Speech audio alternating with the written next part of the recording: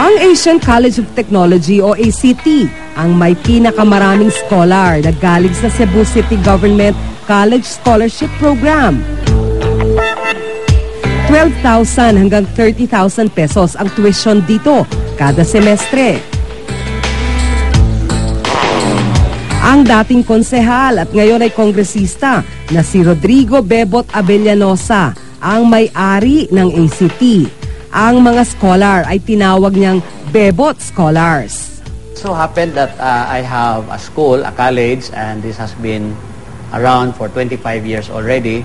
And even before the scholarship program started in 2010, that was three years ago, uh, I was already uh, offering scholarship for our constituents in the city of Cebu. Alam mo naman, pag uh, public official tayo, whether we like it or not, uh, they, they also approach us and ask for help. So we, we have this scholarship program for the past many years.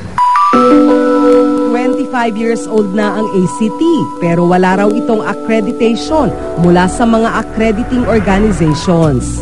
There is no certification that ACT is accredited by PAASCO or PACUCOA. So there is no proof that it is really a center of excellence. Paano masusubukan yung salita kung wala naman doon sa dokumento? ISO accredited ba yan? Well, yung accreditation to the extent na indicator siya ng high quality institution. Ang mga kolehiyo dapat pumasa sa Philippine Accrediting Association of Schools, Colleges and Universities o PAASCO at Philippine Association of Colleges and Universities Commission on Accreditation o PACUCOA. As I have said, wala naman tayong mga urgency to seek for this uh, accreditation with accrediting organizations. But we are in that process already. We are on our way towards that. Kasi relatively young pa naman yung ano eh, in terms of infrastructure, no? Kasi for example, this building is just uh, just been around for the past uh, three to four years.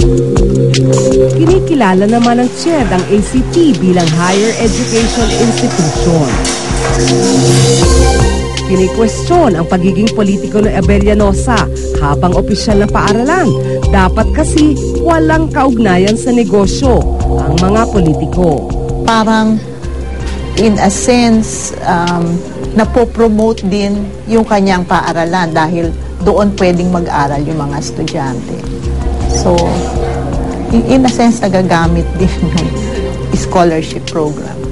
Now, it cannot be a conflict of interest.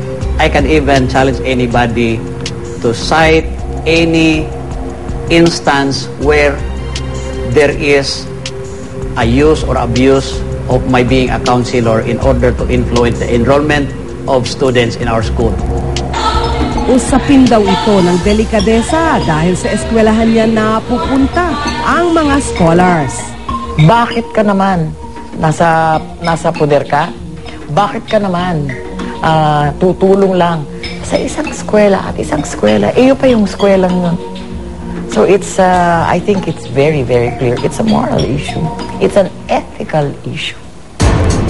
Dahil sa scholarship grant ng Cebu City, dumami ang mga estudyanteng scholar na nag-aaral sa ACT.